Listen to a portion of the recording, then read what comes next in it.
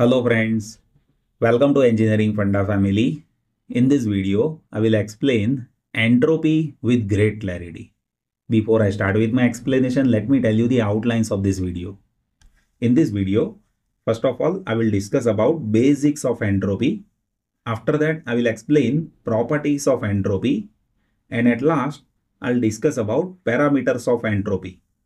So let us start this session with first agenda that is basics of entropy. Let me give the definition of entropy first. See, entropy is the average information of all the symbols. In my last video, I have discussed about information.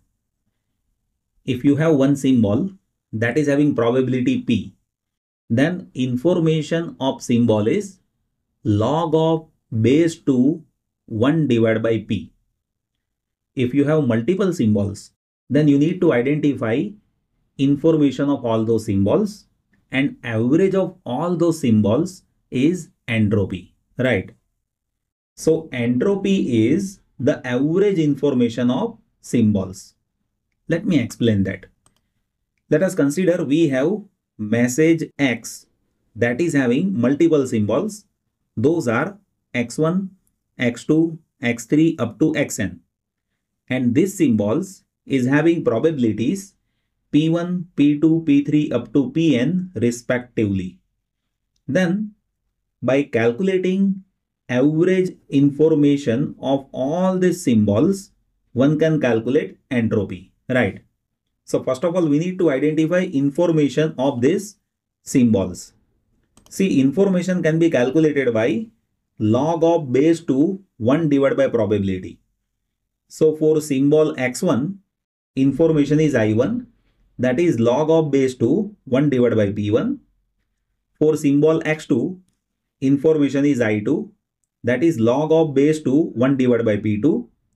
Likewise, for all the symbols, one can calculate information, right? To understand entropy, we need to identify average of all this information and that can be calculated by estimation of information. Let me explain how to identify estimation. See, estimation of this information that is average of information.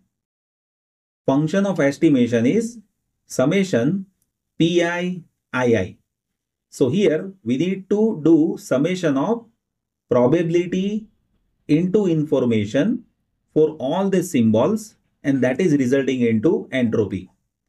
What is information? Information is log of base 2 1 divided by probability. So here, if you talk about entropy, then that is summation probability into log of base 2 1 divided by probability, right? If you talk about information, then that is log of base 2 1 divided by probability. But when you talk about entropy, at that time you'll have to multiply probability with information. That is only the difference which is there in between information and entropy, right? If you talk about unit of entropy, then that is bits per symbol. See, definition is average information of symbols. With information, unit is bits. So if you identify average information of symbols, then that will be bits per symbol, right? So you need to remember this equation. Entropy is summation pi log base 2 1 divided by pi, right? Now, let me explain properties of entropy. So, first property states that if the event is known, then entropy is zero. So, first of all, you need to know what is known event. See, if event is known means what? We already know the probability. Like if you know the event, then you can say probability is 1 or if you say we don't know the event, then you can say probability is 0. So if event is known, then one can say probability is 0 or 1, right? Means there is no uncertainty, right? So if event is known, then one should know probability is 0 or 1. If you talk about entropy equation, then that is P log of 1 divided by P if you talk about zero probability, then zero into anything that will be zero. And if you talk about probability one, then 1 log of 1 that will be 0. Log of 1 is 0. So 0 into 1 is 0, right? So here we have 0 log of infinity, but 0 into anything is 0.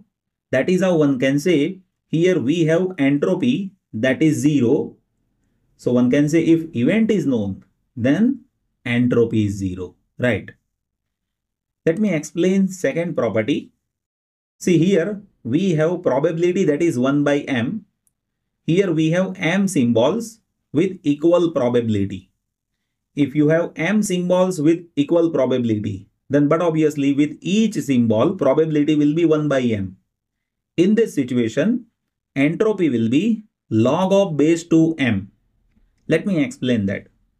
See here, we have entropy equation that is summation probability log base 2 1 divided by probability, right?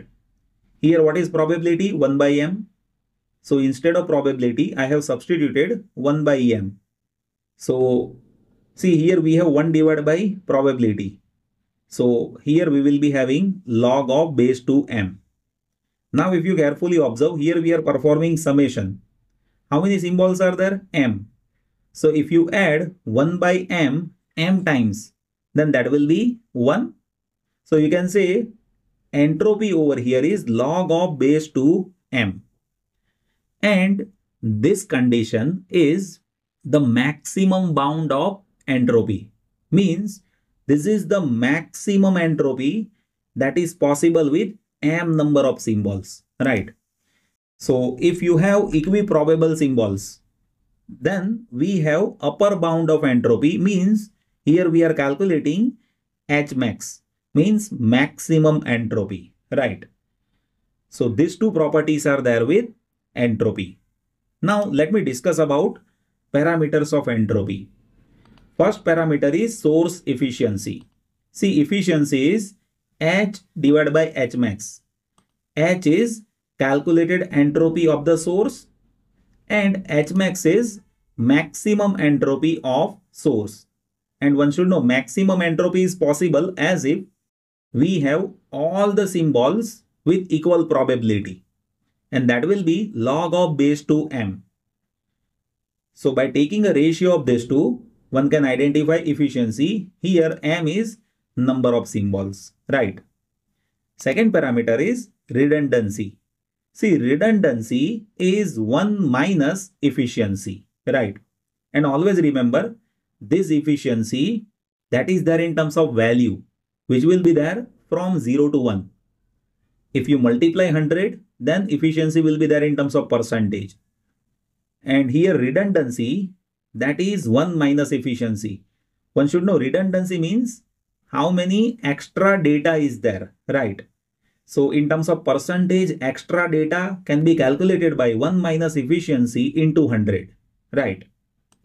Now let me discuss about third parameter that is information rate capital R that is bits per second.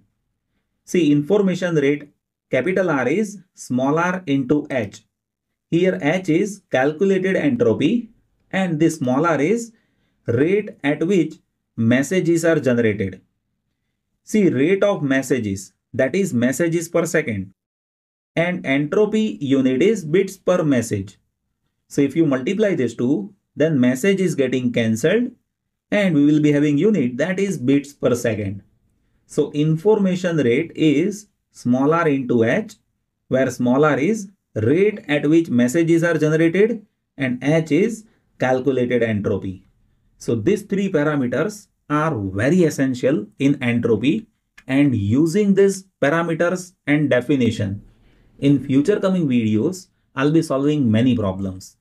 I hope you have enjoyed this video. Still if you have any confusion just place that in comment section I'll be happy to help you. Thank you so much for watching this video.